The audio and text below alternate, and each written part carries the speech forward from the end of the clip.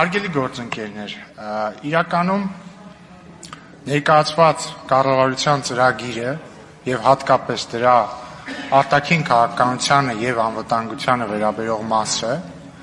ինչպես նաեւ վարչապետի ելույթը, կարծում եմ անդրադառնում են ֆունդամենտալ հարցերի եւ տրամաբանական կլիներ, որպեսզի այդ ֆունդամենտալ հարցերի վերաբերյալ այստեղ հնչեն ֆունդամենտալ կարծիքներ կամ մտքեր։ Ցավոք այդպես չեղավ հարիտնի պատճառներով, բայց ես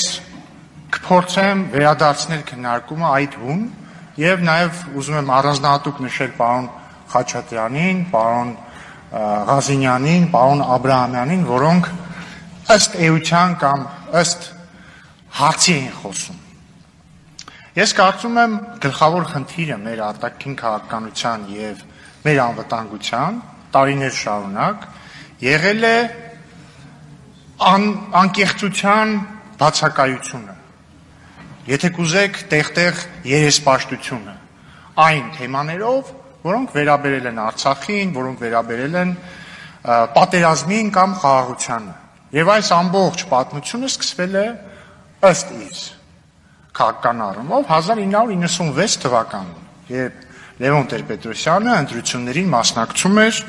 հաղթանակ, կայունություն, առաջընթաց կարգախոսով։ Հիշեցնում եմ, դա պատերազմի ավարտից 2 տարի հետո էր եւ հետագայում հայտնի պատերազմ թե խաղաղություն լրջանալու պահը հոդվածից 1-1.5 տարի առաջ էր։ Եվ այստեղ հենց միանգամից աչքի է զարնում այն, որ դրանից ընդամենը 1 տարի առաջ, այսինքն 97 թվականից 1 տարի առաջ, Լեոն Տեր-Պետրոսյանը ընտրությունների մասնակցում է մի պլատֆորմով կամ դիսկուրսով, որը որևէ կերպ նույնիսկ նախերգանք չի բարեն պարունակում նրա այն դիրքորոշումների, որոնք պետք է մենք տեսնեինք 97-98 թվականներին։ Դրանից հետո տեղի են ունենում 98 թվականի իրադարձությունները եւ Սերժ Սարգսյանը, Ռոբերտ Քոչյանը եւ այլ գործող անձինք ըստ էության դեմ էին այն տարբերակին հակամարտության հանգուցալուծման,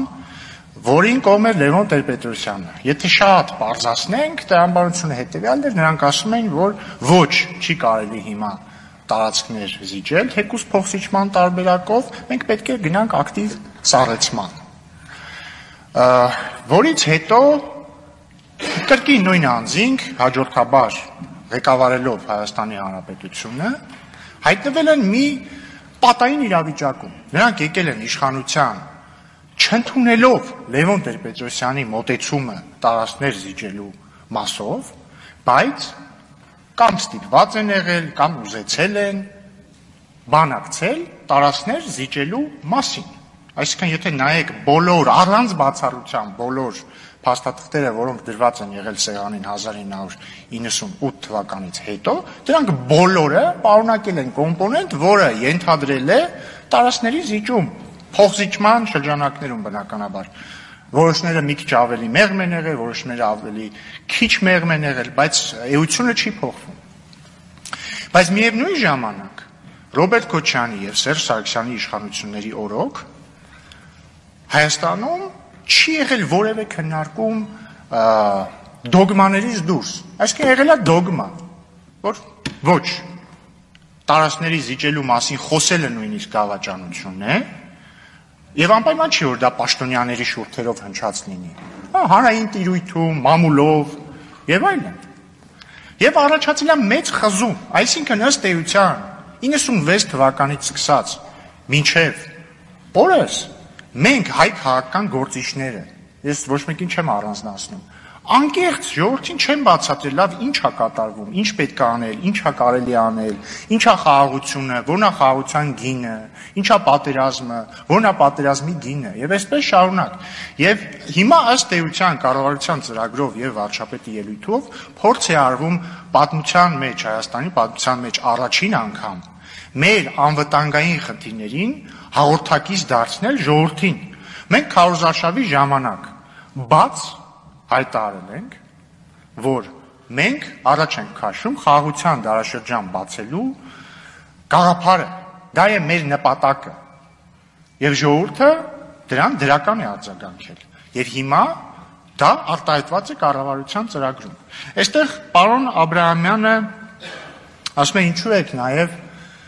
գրել որ այո մենք պետք է ձգտենք խաղաղության, բայց դա միայն մեզնից կախված չէ։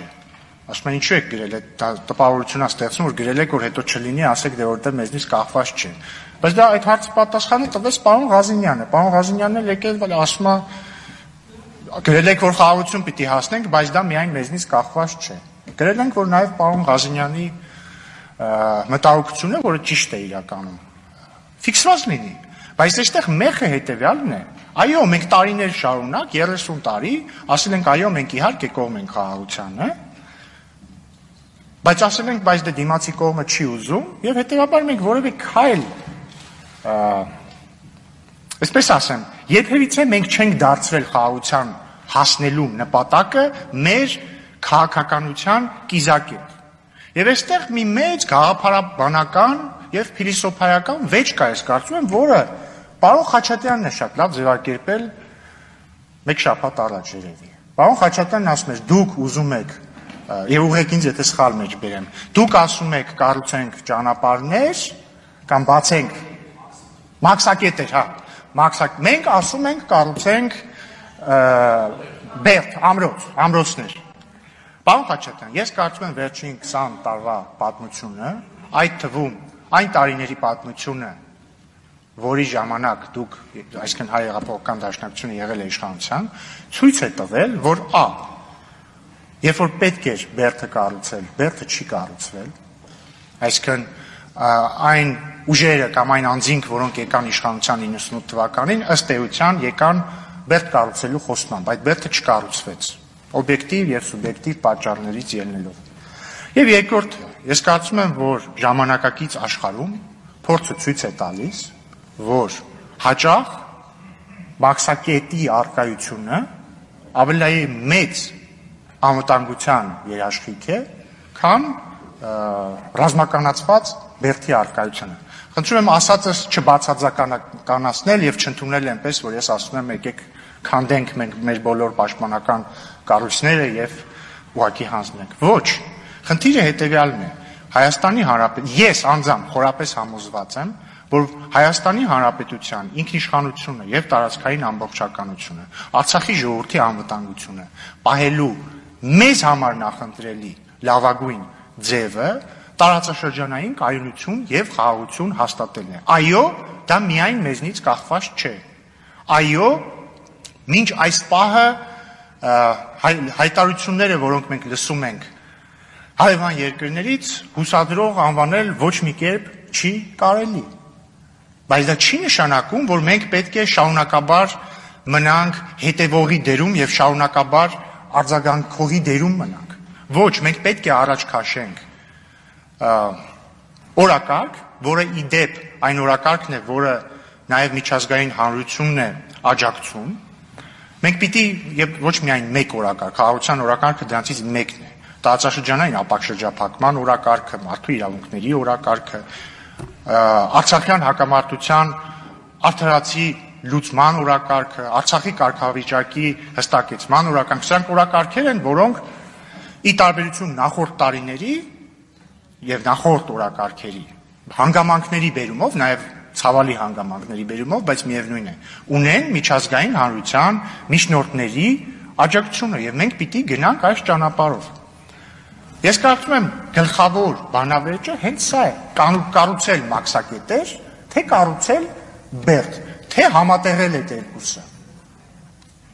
Գուցե դա է ճանապարհը, գուցե պետք է համ կառուցել բերդ, համ կառուցել մաքսակետ։ Եկեք խոսենք սրա մասին եւ հույս ունեմ, որ կմնանք բովանդակային քննարկումների ծիրում։ Կառուցողականությունը մոռանանք, լավ, եկեք կառուցողական չլինենք, բայց եկեք գոնե բովանդակային լինենք։ Շնորհակալություն։